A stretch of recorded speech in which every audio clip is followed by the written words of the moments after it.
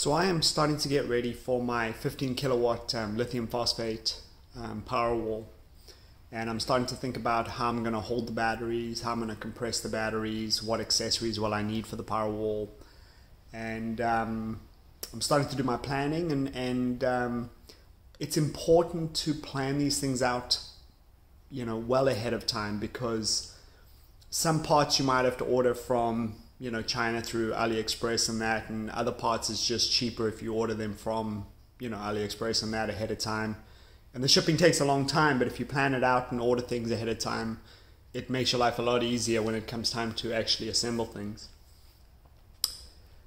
This here is the rack that I have built for the lithium phosphate batteries. Now I'm going to use 16 um, batteries. It's going to be an 8S2P configuration. I'll have eight batteries across the bottom, eight batteries on the on the second row there.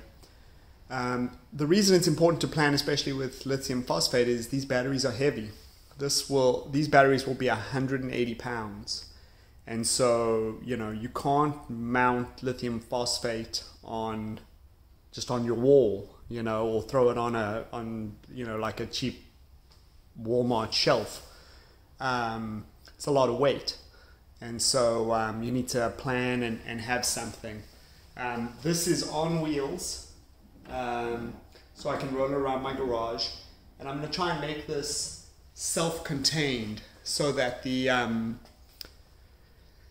the inverter, the solar, everything is on the shelf. Um, so that you know when I need to use it, I can roll it around my garage and have have power where I need it. Um, so now this is you know to make this as you know this is going to be this is fairly compact, and my inverter alone is going to take this whole space here. So I will mount some things on the back and on the sides to make it self-contained.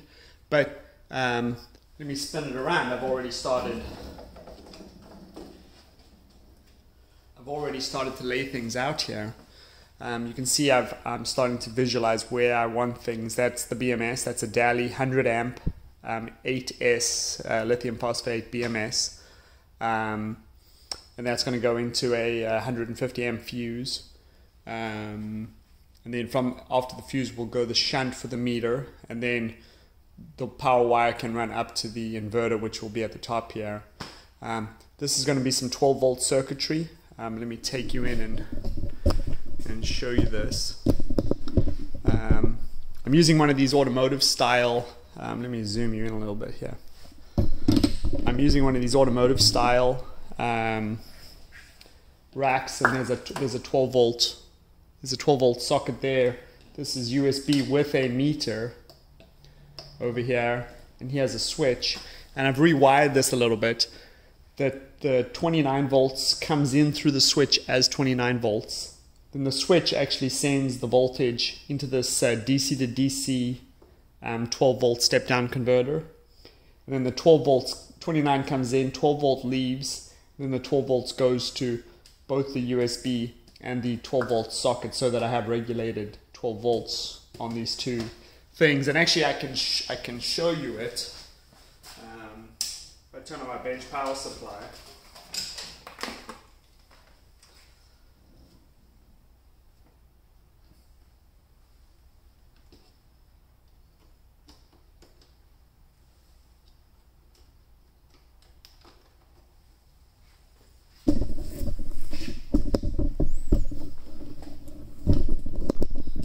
So I have uh, 25 volts going in right now with the bench power supply the switch turns off the 12 volt circuits and then turns on the 12 volt circuits and you can see we're getting exactly 11.9 volts out of the meter and there's our USBs. Um, so I think that'll be a nice way to have USB off the power wall and um, a 12 volt off the power wall. And then the nice thing is this whole DC to DC and all of this is only currently pulling 0. 0.04 uh, amps. So we're pulling 1 watt total right now. 25 volts at 0.04 amps. So we're, we're literally pulling, let's see, pulling one watt. So that's nice because the standby, then the standby on this is nothing. And on you know, again, I can completely turn off the 12 volt circuitry. So there'll be no draw whatsoever off the battery. Um, but I like this design and I think this this will make it convenient. And again, this area will be my main inverter will sit on top here. And um, I'll hide a lot of the, the meters and electronics on the back here and I'll probably have the solar mounted on the side. Um, and let me show you one more thing about this cabinet. Let me disconnect the power meter here.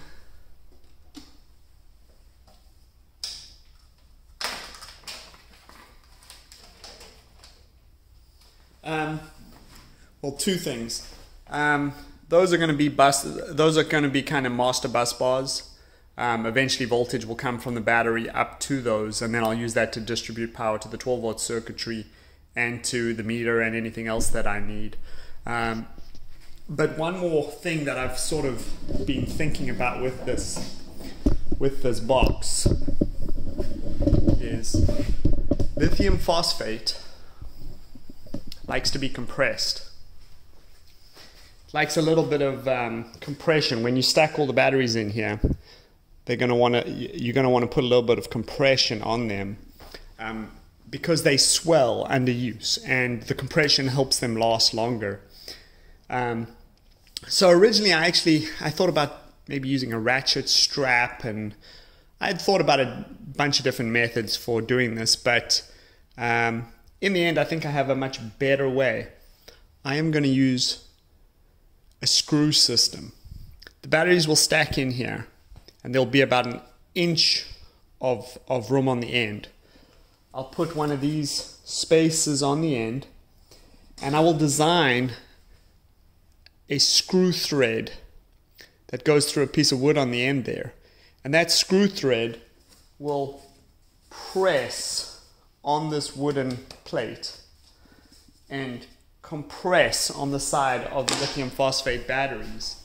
Um, just, you know, not a lot, but just enough to hold them under under compression so that when, when they want to swell, they can't. Um, and that will increase the longevity of the batteries. But I think that's actually an elegant way to um, compress these batteries. You know, just have a just have a little a piece of wood there with a with a screw going through it and a, and a nut to so that it, the screw can't go backwards. And then you screw this way, and um, that'll put compression on the battery. Obviously, I'll make sure that, you know, there's a piece of metal or something to spread the load and we don't damage the board and damage the batteries. And these are cut exactly to the size of the battery um, so that these can be the end caps for the batteries to protect the batteries. Um, but I think that'll, you know, that's how I will compress the batteries. Um, is uh, using a you know a screw mechanism on the side and um, um, I think that's going to work well. I, have thought about this this box a lot, and this is what I've come up with, and I think um, it's going to work well. It is.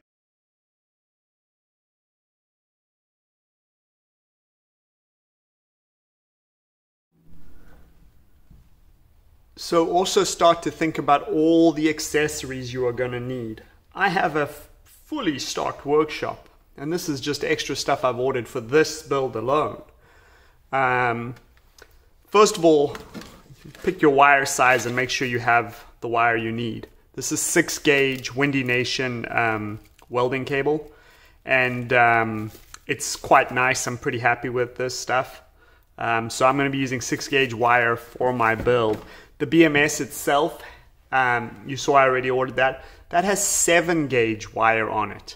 Um, so this is actually slightly thicker, but um, you know, trying to find seven gauge wire is actually impossible. I looked. Um, so six gauge it is.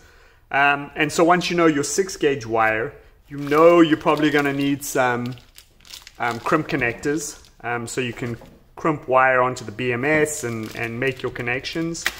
You, you know you're going to need some, some six gauge um, eyelets to join to the battery and to the inverter and stuff like that, a couple different sizes. Make sure you have those. Um,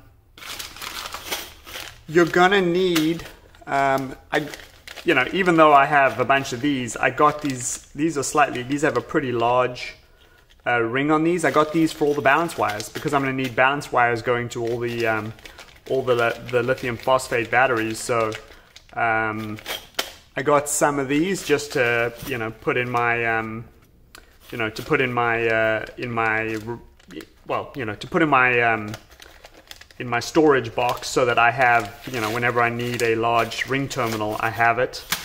Um, I got some more of my favorite Wago blocks. Um, these will be for the um, balance leads.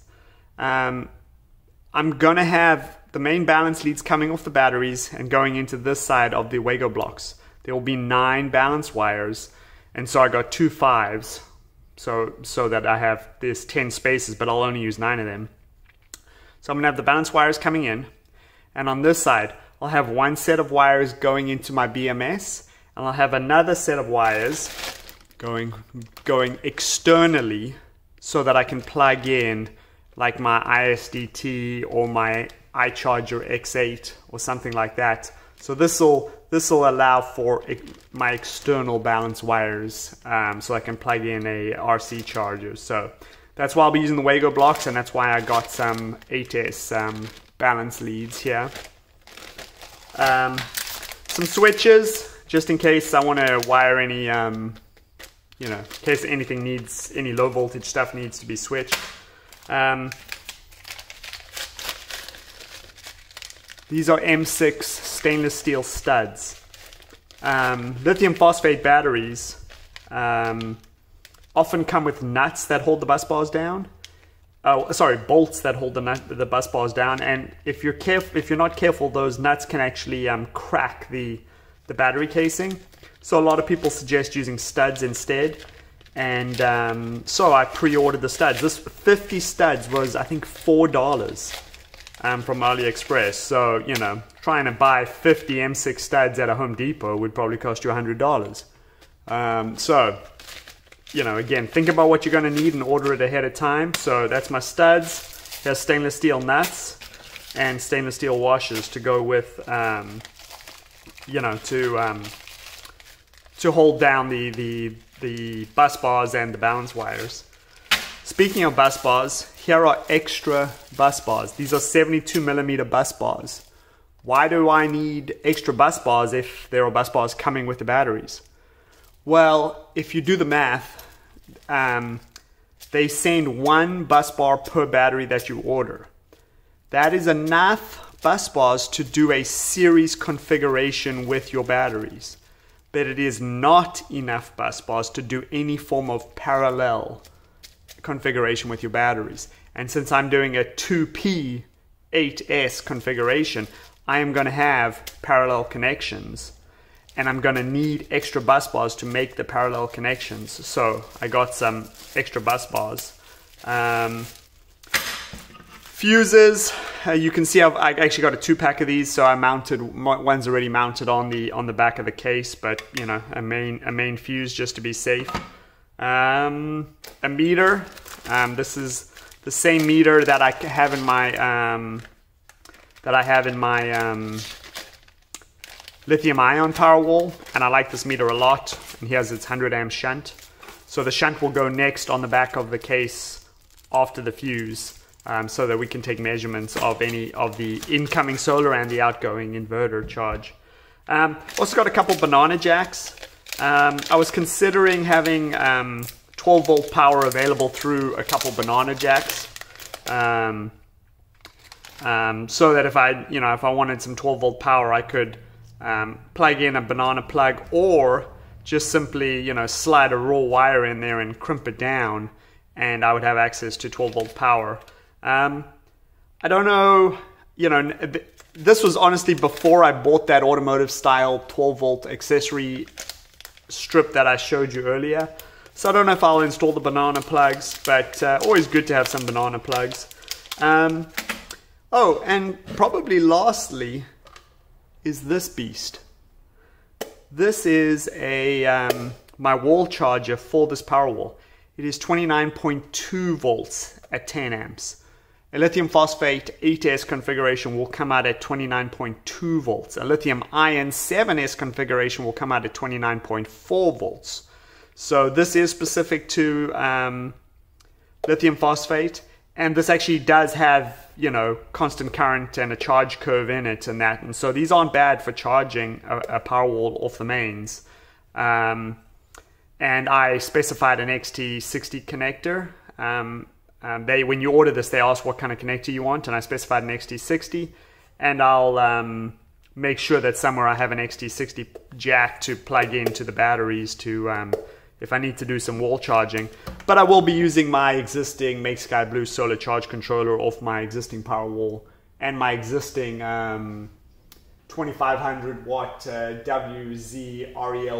um, power, you know, pure sine wave inverter. I'm going to steal those off my existing lithium ion uh, Powerwall and put them on this lithium phosphate Powerwall. Um, so yeah, you know, not that exciting of a video, but I just want to show you all the things you need to start to think about when you start to build your Powerwall because it's all these little things that not only cost a fortune if you're trying to order them at the last second or go pick them up at Home Depot, but some of these things you're not going to easily find. Uh, you're not going to find six gauge copper lugs, nice ones at Home Depot.